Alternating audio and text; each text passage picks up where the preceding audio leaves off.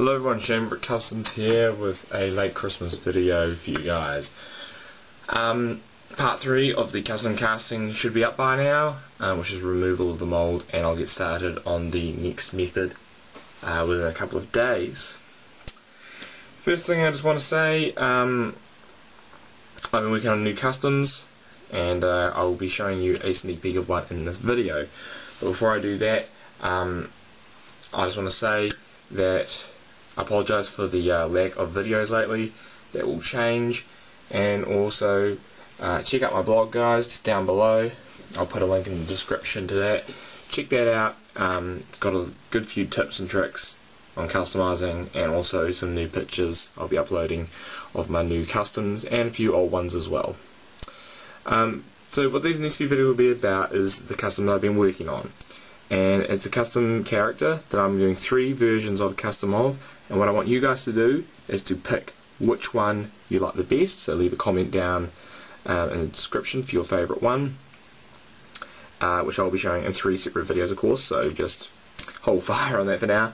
And uh, whatever one you guys like the most I'll be putting into production. Uh, unfortunately I cannot sell um, on the international market yet uh, just due to logistical and time constraints. So Unfortunately, these are only for the New Zealand market at this stage. However, that could change if uh, demand goes up. So again, leave a uh, comment below, guys. And if you want me to start selling these internationally, um, then I'll see what I can do, and uh, we'll take it from there. Anyway, this character that I've um, customized this time is a or was a character featured in the original Clone Wars series back in 2003, uh, a couple of years before the release of Revenge of the Sith. Um, very cool character, also featured in the uh, expanded universe quite heavily. Uh, his name is Durge. Um, he's a bounty hunter. Search it up, guys, on Google if you want some more information on him. Quite a bit.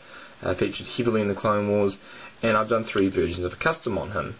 Now it's just a headpiece, of course, because I'm just a, uh, a sculptor, uh, customizer. I haven't found bodies for these uh, customs yet, so I do apologise for the body that I'll be using. I think I'll just have to use a Mandalorian body uh, to show what the headpieces look like on a, you know, a Lego body.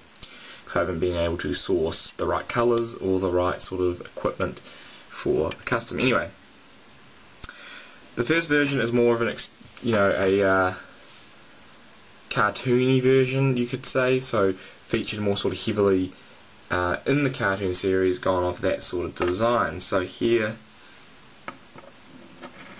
here's the headpiece. I hope you guys can see that. Um, I know this camera isn't the best, that's why I'll be going for the old Boxing Day sale to get a new camera. But there it is. You, know, you may think it looks really weird with the long neck, but in actual fact, the character featured in the Clone Wars has a very long neck, so that will be the reason why. Now, I want to get some very big shoulder pads for him as well, because as you can see, he needs them. but that's how it would fit onto a Lego body.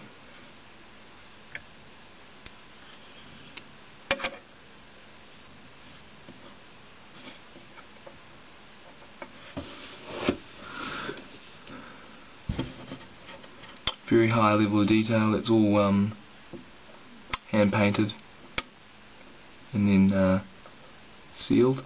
So that's the first Durge, guys. Um, hope you like it. This is a more cartoony version of the two that I'll be doing. Sorry, the three I'll be doing.